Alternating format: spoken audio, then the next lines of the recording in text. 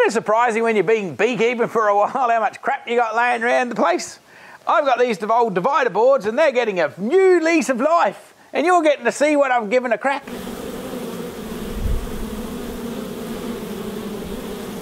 So my plan is that this is going to be actually have some screen on here so is that the heat from the hive underneath can get into my split and I don't have to have as many bees to keep everybody warm. But yeah, what does it say around here? Might be good, might be shit, but hopefully it's going to be good. So my idea is it's going to be called, it's kind of when I was looking into this it's sort of a double screen board. This is obviously not a, this is just a hole in a board, but still, it's the principle is that the warmth's going to come up here from the, the hive underneath. Because apparently I didn't know this until I started researching it, but the, the queen scent has to get passed from the bees to the bees and they have to pass it all around. It doesn't just float around in the hive. So you can do a split, you can have some warmth from underneath, and the girls don't work have to work as hard, and they can raise a new queen, make a new home. Hell, it's a win-win. It's an interesting journey, this beehive. I tell you what, I always thought the scent of the queen floated around in the hive so the girls knew that they were had a queen and that I guess she would have been wearing some serious perfume, but hell, apparently it's not that at all. It's the attendants that are on the queen have to pass her scent around, and when they all run around the hive, they all know that she's there because all the other bees are passing the scent to each other. But then when they think they're queenless, then they think, shit, we better get a new queen. So my idea is I'm going to have a screen either side of this so my little girls can't touch each other, but the warmth will be able to come up so they won't have to work as hard and hell, hopefully, hopefully that will grow a new queen without having to take such a workforce away from the bottom box. Because the plan is that if you're going to keep the warmth from underneath, you won't need to take as many workers from the hive that's actually collecting honey. And so you can make a split, you can keep your honey production happening.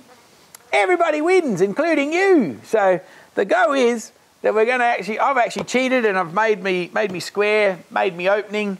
All we're going to do is put a bit of mesh on here and so you can make this hole as big or as little as you like. It's just because I'm a scab ass and I've just had these bits of wood that I cut to the right size. Hell, if you really wanted to get excited, you could probably have a lot bigger hole. But this hole seems to work. So I've already done part of the project. We've just put a little bit of a gap here so as we can let the ladies have an entrance. So we just want to put a bit of mesh on our little hole. Where's me cutting up thing? You can use a pair of scissors. I found a little old sharp Stanley knife seems to work pretty good. Of course, if you're really motivated, you'd have this crap all measured and you wouldn't have to do it individually. You know what? You can't have everything. Just follow the principle. Don't get too bloomin' pedantic about it all. Oh, that'll be right. Now I just ran out of staples. Ah, God. I know I haven't run out of staples. I've run out of the staple gun being cooperative.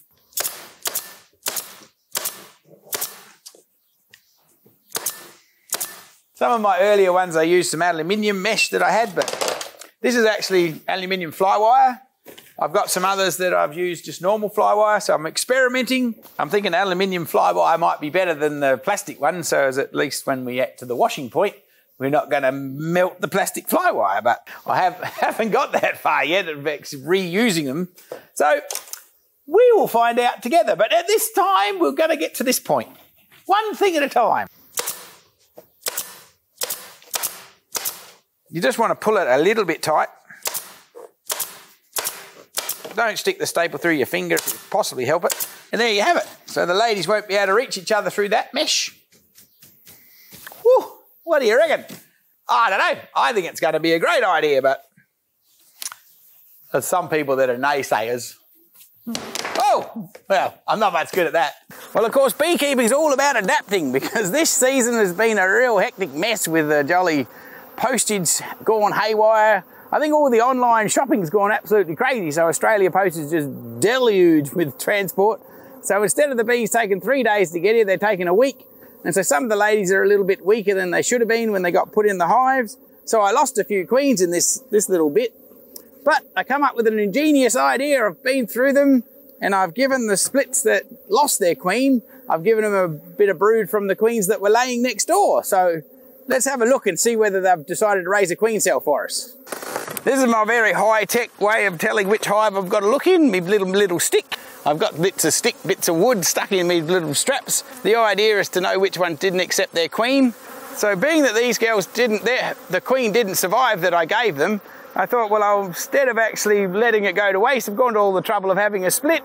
I'll get some of the brood frames from the queens that did survive and pop in here and hopefully they'll raise a queen and then the bloodline that I wanted will continue on. But it's a long way between a queen cell and an active hive, of course, because once she gets hatched, then she has to get out, she has to get laid, and then she has to get back. It's a bit of a hectic deal. But anyway, we're in with a chance. Hopefully, we've, we've got a queen cell. we'll start it here somewhere, find a frame that we can get rid of. They're not pleased to see us, which usually means they haven't got a queen because they're, they're usually a bit toey when they haven't got a queen. Although these girls can be a bit toey regardless. That's why they're getting requeened. Let's see whether we can find the frame I put in here. That's the honey frame. Here we go. This is the one we popped in. If you're doing this, you be really careful when you pull your frame out what have we got here? Oh, there we go. They're raising a few cells over this side. Right, so we'll pop that back there. Now I'll put that above our little vent hole so she's going to be nice and warm.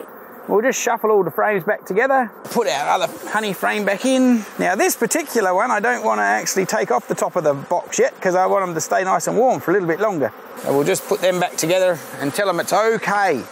Just, just calm down everybody. You're all right. You'll be all right though. You're in with a chance. Cool. Now, don't forget my stick so I know where I'm up to.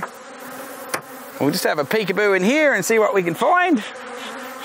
So this one, the queen was accepted because it hasn't got a stick on the lid. So we'll just make sure that she's still laying up nice. And then we're gonna take our divider board away and we're gonna turn it into its own hive. Hopefully. That's the plan anyway. What do you reckon, Chicky Babes? What are you doing?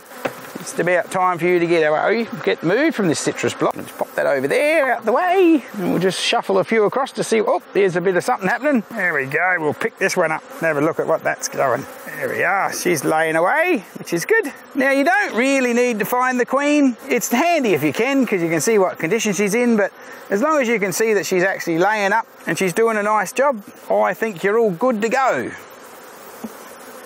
Oh, that looks a bit better. That's a nice pattern. He's gone somewhere a bit fresh. Nice lot of young babies in there. Built that up. That's looking good. I reckon she's good. Pop that back in there. I reckon this one's all right to turn into its own hive by now. Because we got to do it very soon because we're about to move all these girls.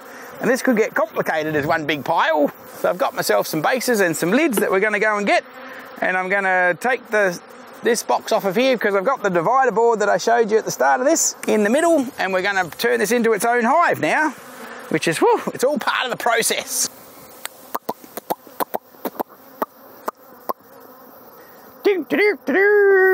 We're going to put our brood box on top of our new bloomin' base and then we're going to put it back where it belongs so as the field bees come back home here and they know where they live. And then when we move them, we'll separate it all out. I'll just put the box on the lid. Now, with your divider board, when you peel it off of your other hive, just make sure you shake all of these bees into the box you're taking over here, because it's unlikely, but you could be unlucky and have the queen sitting on the base here, so.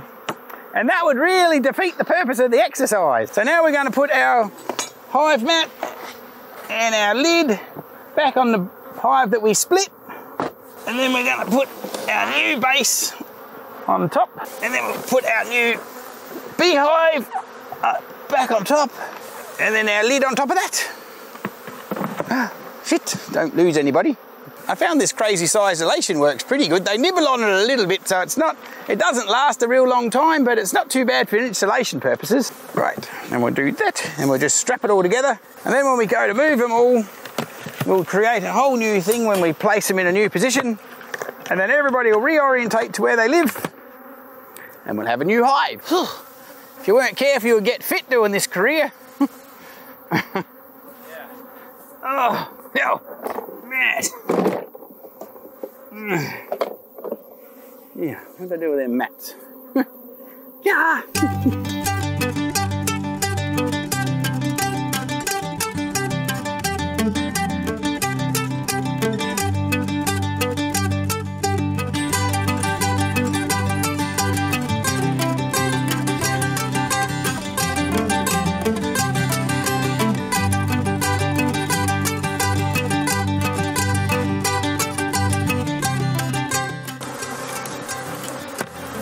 this whole process is going to go on for a fair bit longer yet, but this you get the principle. That's my screen divider board so we can get some heat up. And as you can see, the girls can raise a queen cell with this actual divider, so the scent has to be passed from bee to bee. If they can't touch each other, they think they're separate. Hell, you get the heat, you get the queens. Life's good here in the bee yard.